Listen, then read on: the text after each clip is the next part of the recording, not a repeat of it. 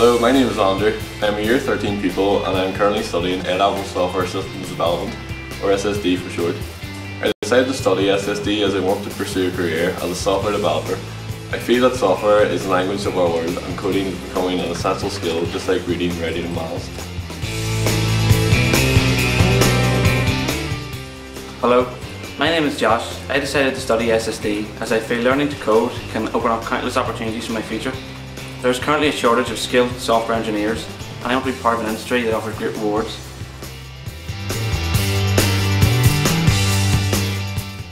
Hello, my name is Desmond. From studying SSD I have found that the skills that come with computer programming can help to develop new ways of thinking and solving problems. Coding isn't easy to learn, but that's exactly why it's so valuable and that's why programmers have the, have potential to earn very high salaries. Hello, my name is Jamie. The SSD course consists of both a theory element and coursework element. The coursework is worth 50% of the element. As this course requires the ability to solve problems and be good at logic, a strong grade in maths is an entry requirement for this course, so if you like solving puzzles and challenges, you'll enjoy this course. Hello, my name is Niall.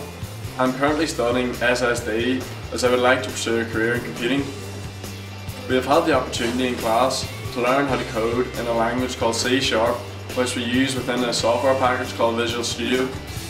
I find the course very challenging it takes a lot of time and practice to get good at coding, but when I have successfully designed and developed my own software application from scratch, I find it very satisfying.